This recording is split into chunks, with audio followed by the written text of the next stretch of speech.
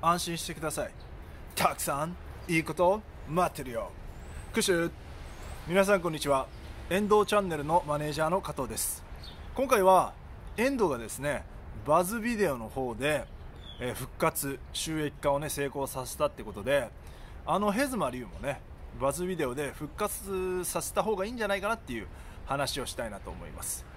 えまずね遠藤のね復活なんだけどまああのいろんなプランが考えられる中ですね、まあ、バズビデオで復活するっていうことでまあとりあえずいいスタートが切れたんじゃないかなと思います。でねまあ今後またねあのバズビデオの方にも、えー YouTube からのね圧力というかまた収益化停止になるようなことは全然あるとは思うんですけどまあとりあえずは良かったのかなっていう感じです。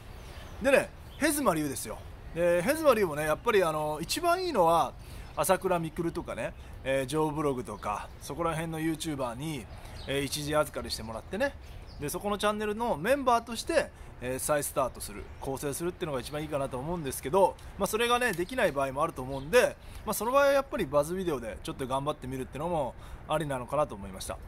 はい、まあ、そんな感じでね、えーやばい2人ですけどもねあの社会に迷惑をかけずに、えー何かね面白いもの、えー許される範囲で面白いものをね作ってほしいなと思います。はい今回は以上です。復習。